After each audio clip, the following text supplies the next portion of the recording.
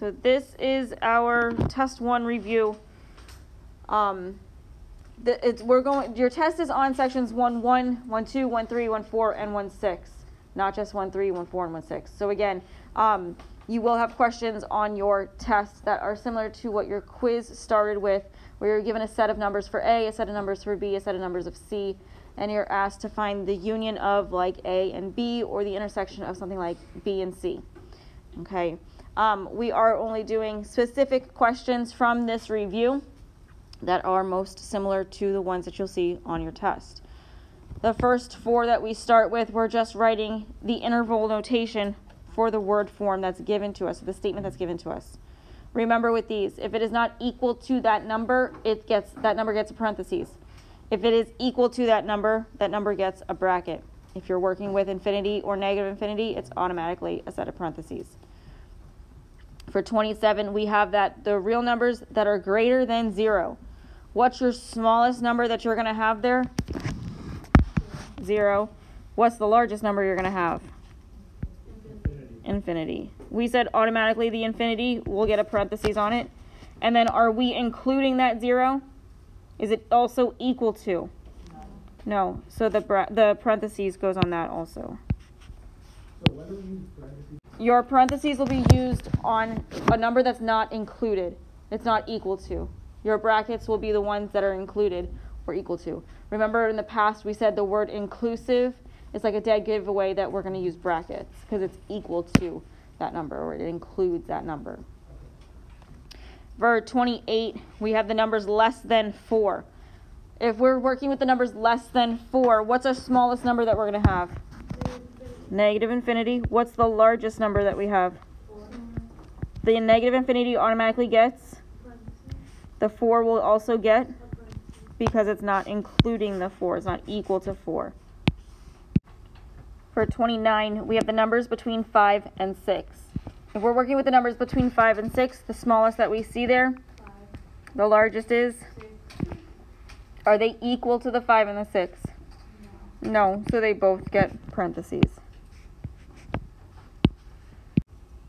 For 30, we have the numbers between 5 and 6 inclusive. If it's inclusive, it means what? Brackets, it includes.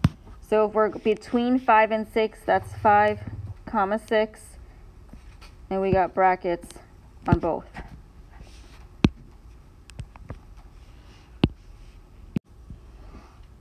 For numbers 35 and 36, we are writing the set of intervals as a single interval. So with these, you want to look at what's the smallest number, what's the largest number. If it's an intersection, they're going to get brackets automatically because it includes the same numbers if it's a union, you have to make sure that you're paying attention to the numbers you're working with. If it's a negative infinity or a positive infinity, it's going to get parentheses on that infinity or negative infinity. The highest or the lowest number, if it's an actual number instead of infinity, whatever it has on it already, it will keep. So if there's a bracket on it already, it'll keep the bracket. If there's a parentheses on it already, it'll keep the parentheses. For 35, you have 2 comma 4, so the numbers between 2 and 4 with an intersection of 3 comma infinity, so great numbers greater than 3. An intersection are the numbers that are the same between the two sets.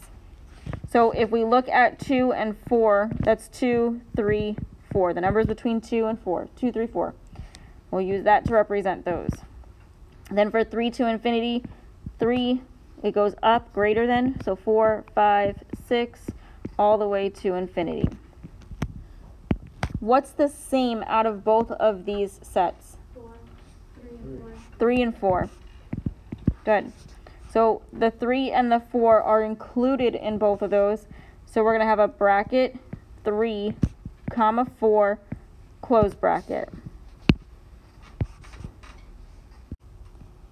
For 36, we have the numbers less than 3 with a union of the numbers between 1 and 6.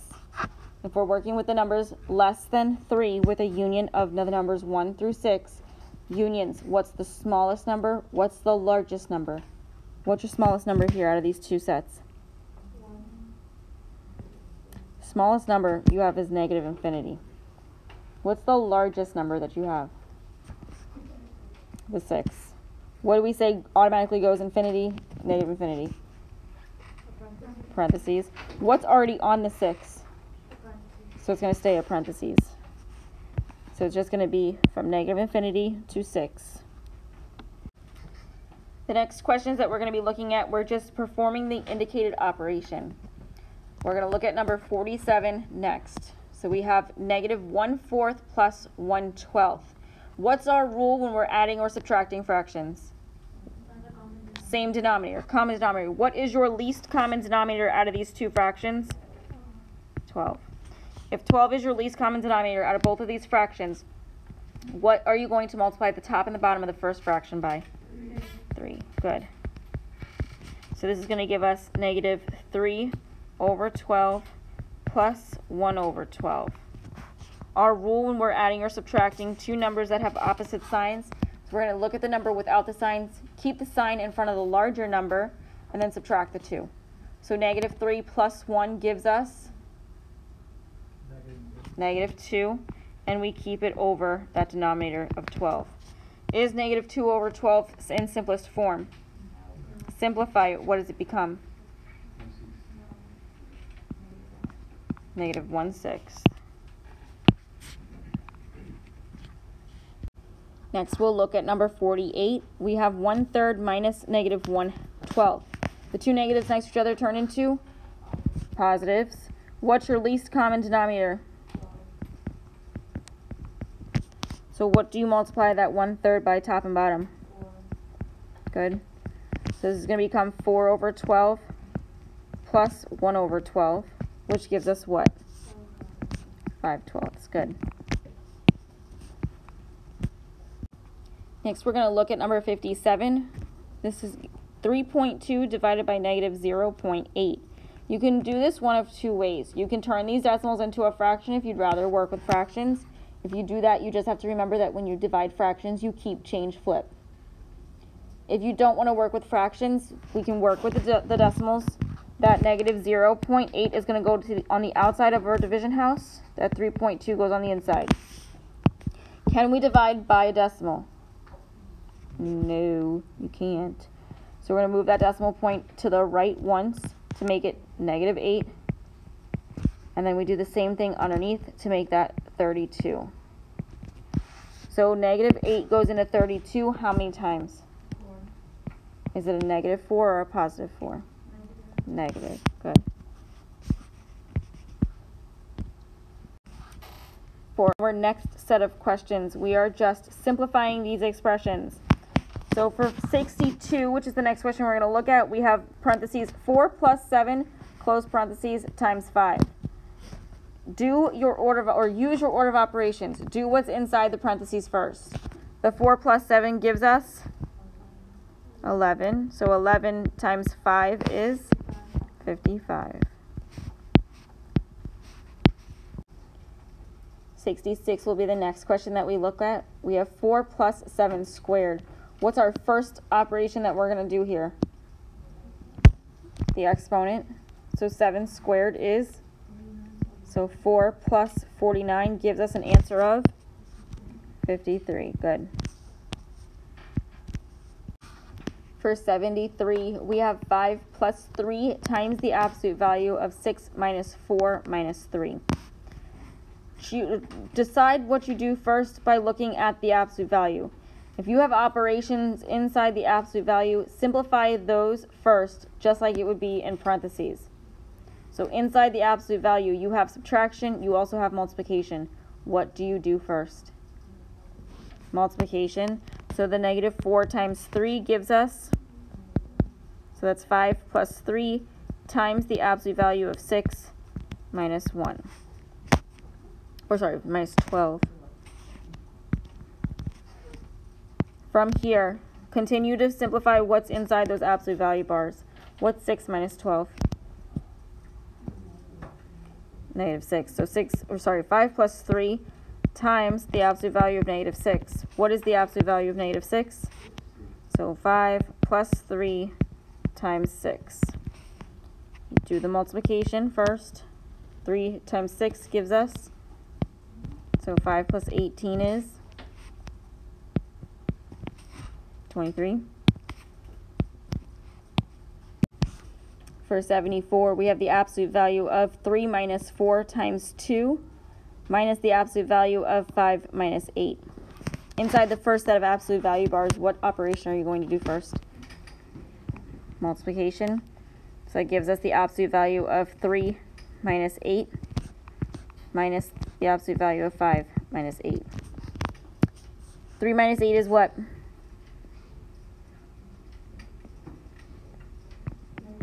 Negative 5. 5 minus 8 is?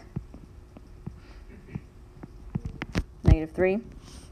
What is the absolute value of negative 5? What's the absolute value of negative 3? 5 minus 3 is? 2.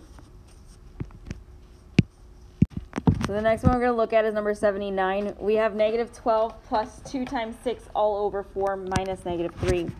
A Couple things. That 4 minus negative 3 is going to turn into what? Positive. The 2 times 6 up top gives us 12 plus what? 2 times 6 is? 12. The 4 plus 3 on the bottom. The negative 12 plus 12 up top. What is it going to simplify to? 0 over 7? 0 over 7. The, tw- the negative 12 plus 12 is 12 minus 12, so that's 0. Anytime you have 0 on the top of your fraction, what does it simplify to? 0. For 81, we have negative 1 minus negative 6 all over 4 minus negative 4. The two negatives next to each other turn into positives. So negative 1 plus 6 gives us 5. The negative 4 plus 4 gives us 0. Anytime 0 is in the, the bottom of the fraction, what's our answer? Undefined. There is a big difference between 0 being an answer and undefined being an answer. They are not the same thing.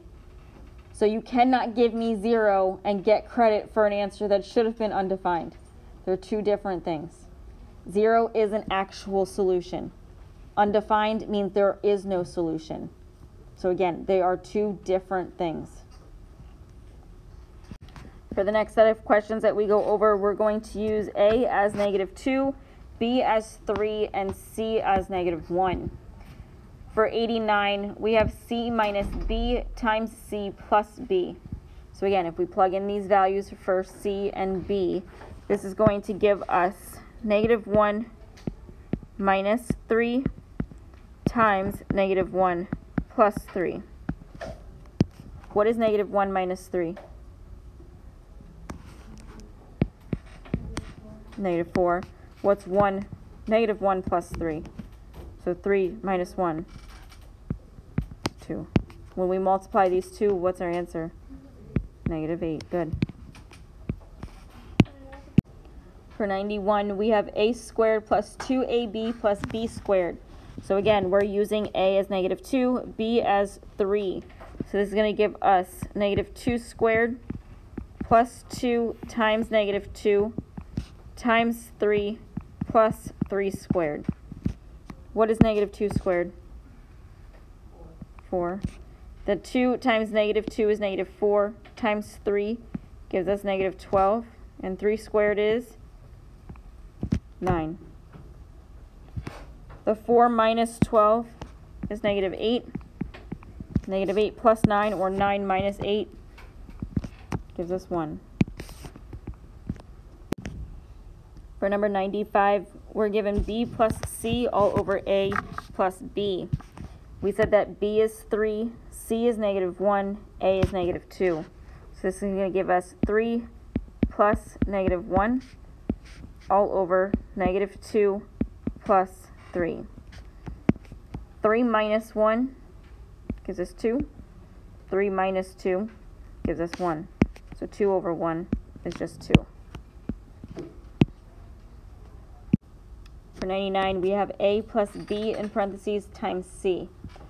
a, we said, is negative 2. b is 3. c is negative 1.